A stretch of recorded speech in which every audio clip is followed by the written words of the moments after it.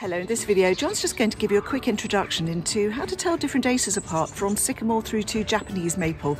The video is not about how to grow acers, it's about how to set about seeing what might be suitable for you in your garden and what you would like. Welcome to John Horsey Horticulture. John's been teaching horticulture professionally for over 30 years now, and on this channel, we're hoping to help you develop your gardening skills. Whether you're new to gardening and would like some techniques on propagation, growing some vegetables, a bit of pest control, or whether you're a seasoned horty who could always use some extra tips and advice. If you like learning those things, do consider following us. There's no charge, just push the subscribe button. Don't forget to push the all important notification bell. That lets you know every time we upload a new video. Good morning, everybody. Today we're starting our series on uh, tree identifications and we're looking to start with the acers or at least a few of them because it's such a big range. Um, I'm going to start off by talking about our, our wild acer, the, the sycamore, um, also known, known, as the plane. In fact its name is Acer pseudoplatanus, so it's like false plane. But it is actually a true acer. It's quite widely distributed in the country. We think it came in during the 16th century it's quite uh, a useful uh, tree. It'll take exposed positions and gets to a decent size and quite a good wood. Uh, when it's growing with other trees, it's tend, we tend to think of it as a bit more of a, uh, a weedy species because it seeds very freely. But uh, I, I, mentioned that one, I mentioned the, the sycamore because that's the starting point. It's not really let's say not really very widely grown or accepted. I can't think of any proper garden use for it. But having said that, there are some nice um, cultivars. There's one called Brilliantissima, which has a very light colour when it comes through in the, in the spring. And Knight's Court has got some good examples of it there. Um, another one is called Leopoldii, which has got more, not really a variegation, but very, very light streaks in it. Uh, and good examples of that at Marwood Hill Gardens. So that's the sycamore, um, and I think I don't think we need to say an awful lot more about sycamores. Right, well the, next of our, our, our acers we'll look at is called Acer campestre or the field maple. And this is quite a common plant in, in hedges. It's a native species. Uh, it's got a lovely, very distinctive, very typical maple-like leaf. It's just starting to turn colour there.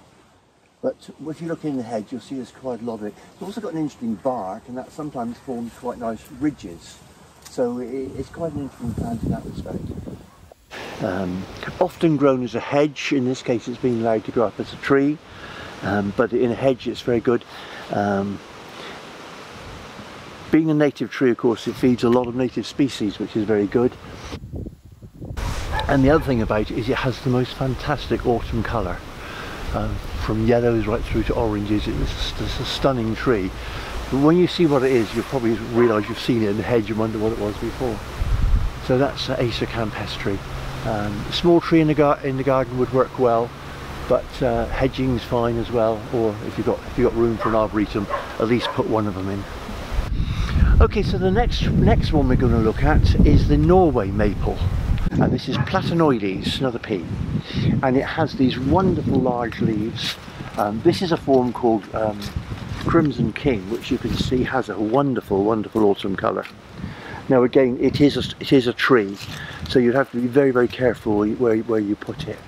Um, this one, we've had to cut it back, it got too big. It's a classic example of the, uh, uh, the, the plant in the wrong place. Should have had far more room, it has got the room here.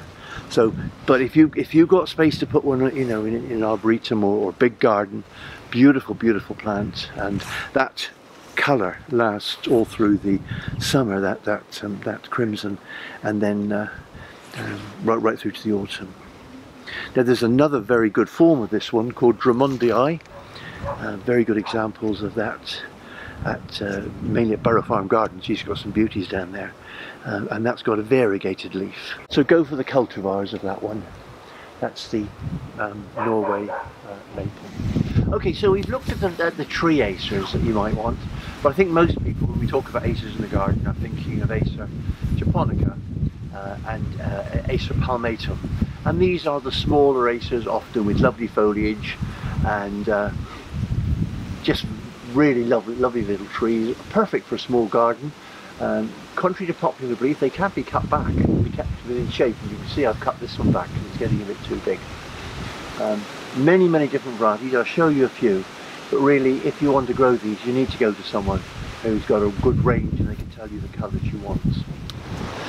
Now this is this is one called Katsura, which is uh, uh, a beautiful tree. Has you can see the typical leaves of the Acer shape. Uh, wonderful colours both in the spring uh, and later on in the autumn. Uh, quite a, a, a, good doer, very vigorous, but it can be cut back quite hard. Um, this is, as you can see from the situation, it's a bit close. We've got woodland on our, very close to us, and they, it does draw all the trees up. But last summer, when it was dormant, I took it back by about a half, and uh, it's not really upset it at all. Um, but it's kept it back to the sort of shape I want. So that's Katsura, and that's a really good one if you want some wonderful colours. This is a, this is one called Yashojo. Um, a lot of them have Japanese names, that's where a lot of them bred. Uh, and this is done quite nicely.